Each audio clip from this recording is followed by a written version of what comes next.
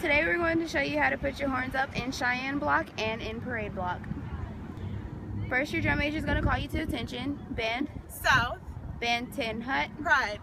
When you do your horns up, you say bend, horns up and make the sound. Then when you're going your horns down, you go out, down. Out, down.